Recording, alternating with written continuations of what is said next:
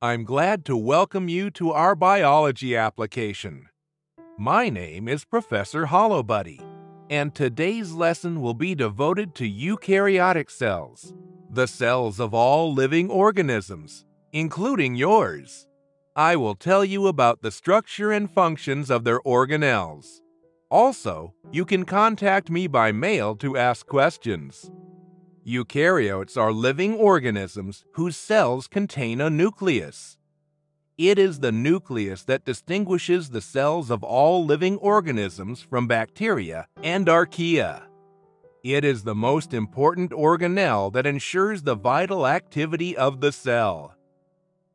To continue, the nucleus occupies about 10% of the mammalian cell by volume, with an average diameter of 6 microns. The nucleus content is separated from the cytoplasm by a dense nuclear envelope, which contains a multitude of complex pores and helps in filtration and